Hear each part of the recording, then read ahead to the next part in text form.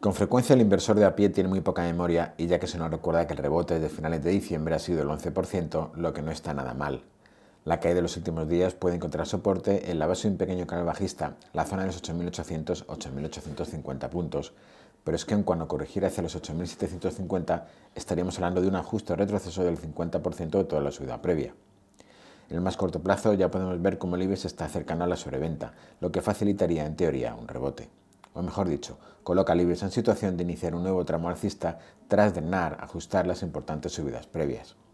De todas formas, insisto que en realidad lo importante está en comprobar si tras la actual fase de reacción el precio es capaz de saltar por encima de la resistencia clave de los 9.260 puntos y que por encima de ella, preferiblemente en velas semanales, tendremos una figura de vuelta en cabeza y hombros invertida con objetivo de subida de los aproximadamente 10.000 puntos.